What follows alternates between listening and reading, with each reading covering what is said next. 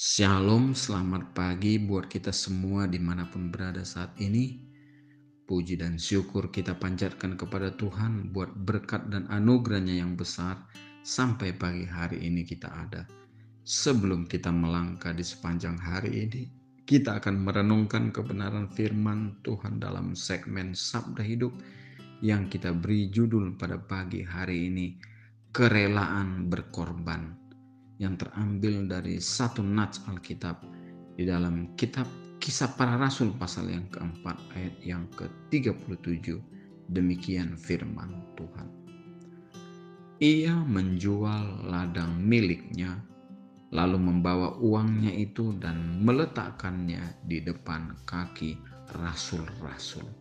Saudaraku Bapak Ibu yang dikasih oleh Tuhan Yesus, untuk memberi yang terbaik kepada Tuhan diperlukan sebuah pengorbanan dengan kerelaan hati.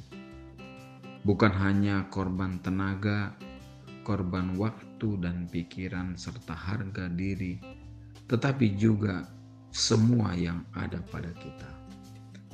Ada banyak orang Kristen tampak menggebu-gebu melayani pekerjaan Tuhan ketika segala sesuatu berjalan sesuai dengan keinginan begitu diperhadapkan pada masalah, gesekan dan benturan, semangat mereka melayani Tuhan pun memudar.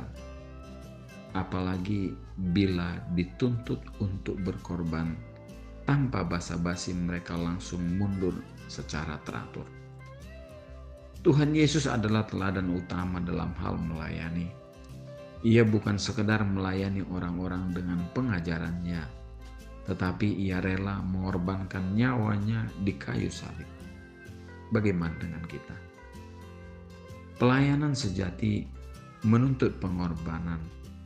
Melayani Tuhan dan pekerjaan Tuhan harus dilakukan sepenuh hati dan butuh kerelaan hati untuk berkorban. Kita harus memiliki kasih, kasih kepada orang lain dan bukan hanya mengasihi diri sendiri kita juga dituntut untuk peduli dengan pekerjaan Tuhan, juga mengembalikan apa yang menjadi milik Tuhan, sebab semua yang ada pada kita datangnya dari Tuhan.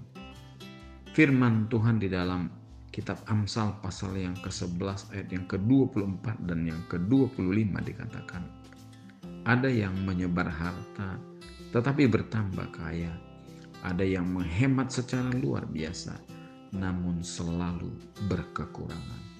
Firman Tuhan pada pagi hari ini mengajarkan kepada kita anak-anaknya, supaya dalam kita mengiring Tuhan, harus rela berkorban, karena hidup kita pun adalah berkat pengorbanan Tuhan. Firman ini kiranya menjadi satu perenungan yang indah bagi kita di sepanjang hari ini.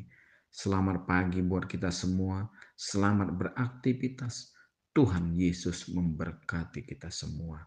Amin.